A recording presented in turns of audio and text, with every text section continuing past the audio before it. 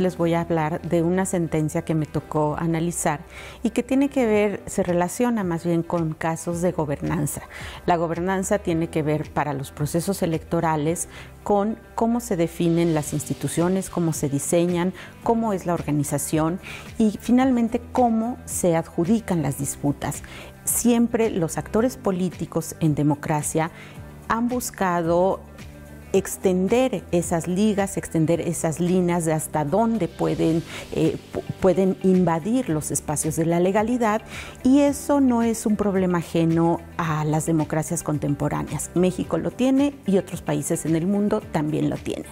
Eh, lo importante aquí es ver a partir de esta sentencia que me, me ha tocado analizar, es ver cómo se dirimen esas disputas y cómo los actores pueden extender o restringir estos límites. En este sentido, eh, lo que ubicamos es lo que parece ser una estrategia del partido Morena que está buscando transgredir esos límites.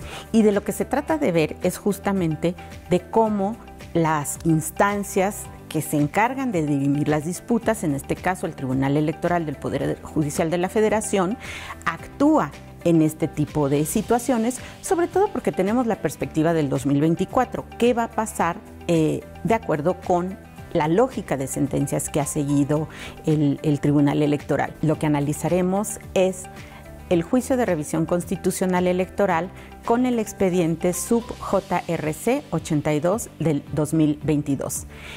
Esta sentencia lo que aborda es el caso de una elección que se llevó a cabo en el estado de Hidalgo eh, para gobernador, donde el Partido Acción Nacional controvierte los resultados y, eh, lo que va, va a juicio con el tribunal local.